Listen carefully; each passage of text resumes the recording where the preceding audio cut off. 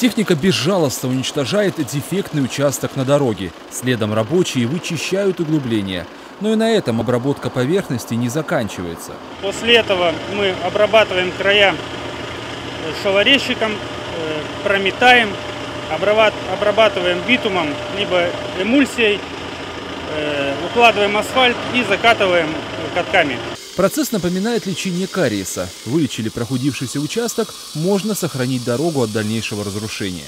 Рабочие управления дорожного хозяйства и благоустройства таким способом уже отремонтировали больше 200 объектов. Некоторые дороги чинят во всю ширину проезжей части. На сегодняшний день мы уже сделали участок значит, по улице Десятилетия Октября от окружной дороги до улицы Лескова. Значит, отремонтирован у нас участок по улице Талалихина. Э, Потом отремонтировали мы на ширину проезжей части улицу Южная на участке от Мельничной до Торговой. Также у нас отремонтирован участок по улице Завертяева. И работы ведутся на сегодняшний день по улице Донецкой.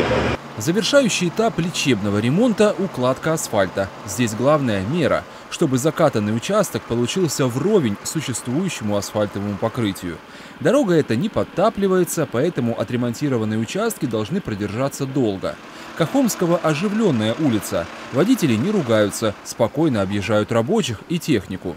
А еще в Омске полностью меняют асфальт, бордюры и ограждения, обустраивают ливневки на 17 дорогах. Все они вошли в программу «Безопасные качественные автомобильные дороги».